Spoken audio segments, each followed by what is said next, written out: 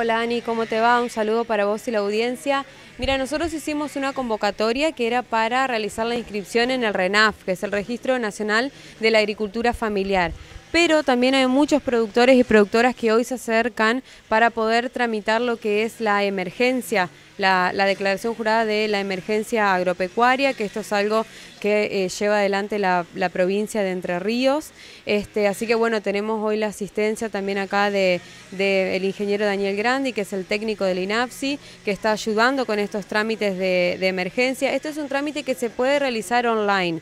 Entonces cada persona puede entrar directamente a la página de la provincia y están ahí los diferentes formularios que hay que completar y hacerlo. O si no, también se pueden acercar hoy acá presencialmente eh, y que están los técnicos, digamos, para asistir en ese proceso y poder completar el trámite de la emergencia. ¿Qué beneficios tiene al inscribirse? El inscribirse para lo que es la emergencia agropecuaria, en principio, si no tenemos bien claro cuáles son los detalles de, cuál va a ser el beneficio, sabemos que van a ser alivio fiscal para los de las productoras eh, y también se espera, como, ya ha sucedido, algún tipo de subsidio, pero todavía no tenemos detalles. Lo que sí nosotros le, indicamos a las personas es que, bueno, que realicen el trámite, porque todos los productores están sufriendo mucho la sequía, entonces que aprovechen y que completen los formularios y que la declaración jurada, que declaren su situación de emergencia agropecuaria por la sequía. Eh, y después, bueno, se, va a ir viendo. Lo importante es aprovechar esta fecha, que es hasta el viernes, que hay tiempo para poder enviar los formularios. No sabemos si va a haber una prórroga o no, en principio es hasta el viernes. ¿Hay un cupo limitado para las inscripciones? No, no, no hay un cupo limitado. Eh, sí tenemos ahora varias personas, digamos, que, están esperando para recibir asistencia, pero bueno, nos estamos organizando. Está el técnico que vino con un asistente y, también de la oficina de, eh, de, la Dirección de Trabajo y Producción. Somos tres personas que estamos asistiendo en, las inscripciones, así que bueno, acercarse, asesorarse eh, y lo importante es que nadie se quede afuera y que aprovechen estos beneficios. ¿Qué documentación tienen que traer? Y bueno, los eh, son muy particulares para cada producción, por ejemplo, apicultores, que estamos trabajando ahora con varios de los apicultores que forman parte de la, de la cooperativa apícola, tienen que traer el, RENAPA, que es el registro que, que, se que hace cada apicultor, con el registro de las colmenas, eh, y eso depende, digamos, de cada, de cada producción. Pero bueno, importante acercarse, por ahí si no saben, se acercan, estamos ahora, vamos a estar toda la mañana atrás del corralón municipal por calle Entre Ríos, llegan a la Ramírez, ahí tienen que volar a la derecha, al fondo del corralón estamos nosotros y le vamos a asesorar y le vamos a indicar específicamente qué tienen que traer. ¿La importancia del registro también eh, da beneficios a futuro? Sí, el, sobre todo el registro de la agricultura familiar. Están inscritos en ese registro, brinda beneficios a futuro.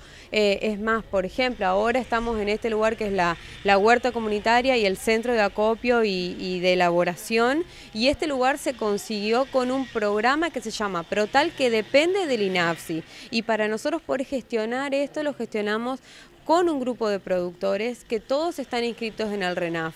Entonces es muy importante, o sea, estar inscrito en el RENAF después nos permite gestionar otros programas y bajar, por así decirlo, otros beneficios para la producción local.